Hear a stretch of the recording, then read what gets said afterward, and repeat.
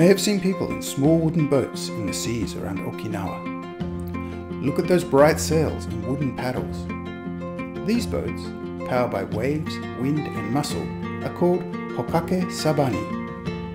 The Hokake Sabani was born in Itoman City, located in the southern part of Okinawa main island. The boats were traditionally used for fishing, but unable to compete with engine-powered vessels, they disappeared from the fishing industry. When in Itoman, be sure to visit the Uminchu Kobo Art and Craft Center. In Okinawa, fishermen are called Uminchu, and at this museum you can see many types of tools and sabani they once used.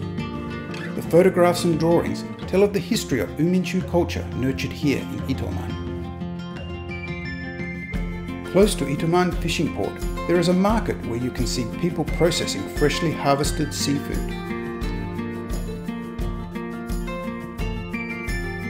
You can catch a glimpse of the lives of people living in harmony with the sea.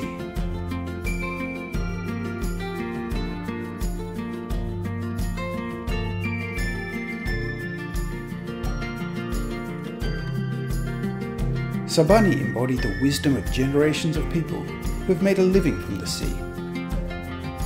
The challenge now is how to pass on the knowledge and skills to build these boats and how to preserve this unique Uminchu culture. An increasing number of orders for Sabani from outside Okinawa show the universal appeal of this boat.